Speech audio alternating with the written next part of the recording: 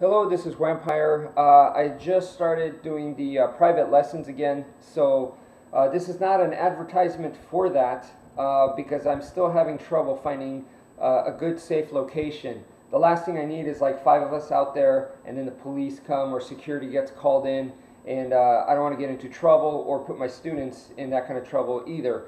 but from the private lessons, it puts in a nice change of pace because now we're talking about uh, partner training instead of just uh, by yourself, which uh, that's what I do the most and that's what I'm most comfortable with. But uh, with partner type drills, everybody prefers partner drills over uh, solo exercises. Okay, just training at home. It's so different. Okay, you need to do both. Everyone just wants to go to class and just do partner drills. Okay, that's that's the easiest thing, and they feel like it, they learn so much more.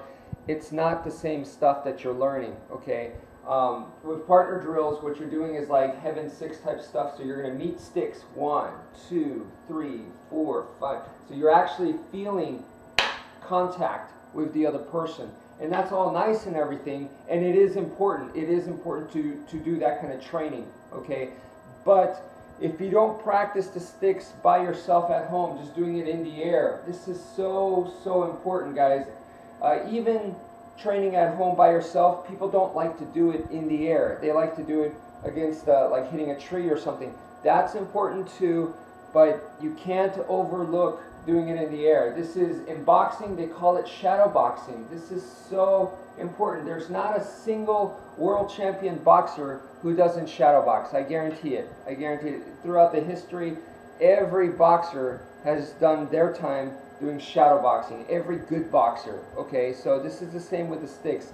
It's like um, when you train with partners like this, I guess the easiest comparison that I could give you guys is like uh, with a knife, okay? Uh, it's like working on a target or something, okay? You're actually hitting and making contact with a target. That's very important, okay? But training at home by yourself in the air is like sharpening your knife. That is so important. If you don't do that, it doesn't matter how, how good your skills are. If you have a dull blade, it's not going to cut well, all right? So it's, it's that crucial is what I'm trying to say.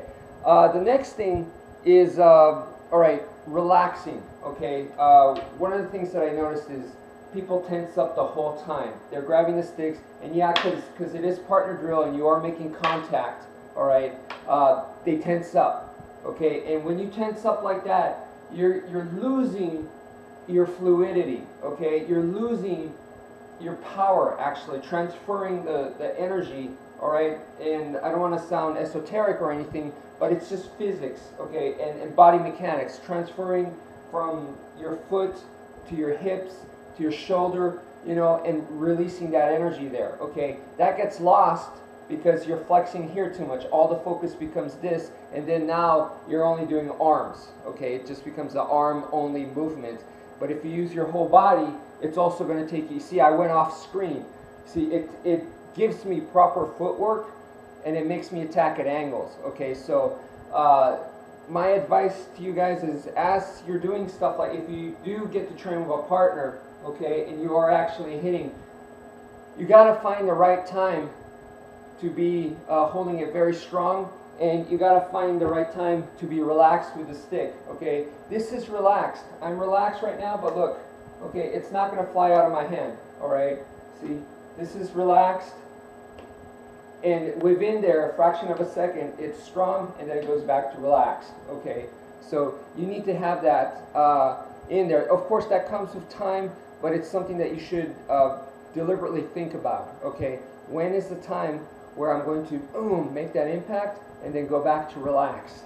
Okay, go back to relax, or else you're going to cut off your own power, your, your own energy source. The next one is uh, vision uh, this one came about when we were doing the reverse Sinawali. Okay, this one right here. When you're doing the reverse Sinawali like this, um, because it's a little bit trickier, most people don't have as much time with this one as with the Heaven 6. It's not as smooth, all right? And uh, because of it, it's harder. So people, and plus because the sticks are down here when you're doing the, the reverse Sinawali, people start to look at the sticks. Okay, this is a uh, something you definitely don't want to do in combat. Okay, you don't want to be looking at the sticks, right?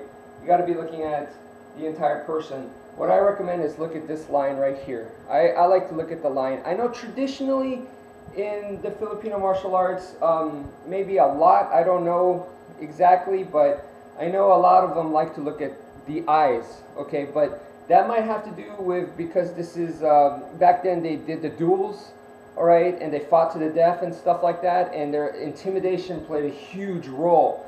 But uh, I don't recommend to do that. Once the, the other person has the skill and you have the skill, you know, using intimidation, and if the other person isn't afraid, then you're just wasting a, a, ton of energy. Okay, so I don't like to play that kind of game. I'm just here to do business. All right, so uh, I like to focus here on this line right here. Okay, and and that way, if they do look really really scary, then you just pay attention to that and read their body. So you're not worried about getting psyched up or or how scary the guy looks. All right, so uh, I I do recommend that. Um, but so don't look at the sticks, like look at this line, and as you're doing it, of course, if you look at the sticks, it's easier to do this drill. It's easier to make sure that the sticks hit like right around here. You know, you can target it better, but that's the whole thing. Um, we're trying to not necessarily make it easier, we're trying to make it more combat realistic. Okay, so don't look at the sticks, all right?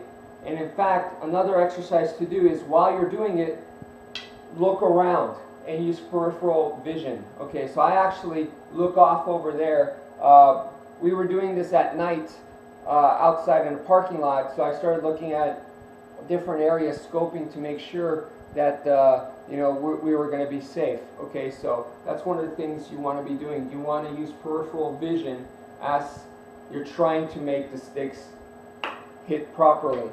Of course, it is harder but that's why it's practice. Anyway, um, thank you for watching, and uh, good luck with your training.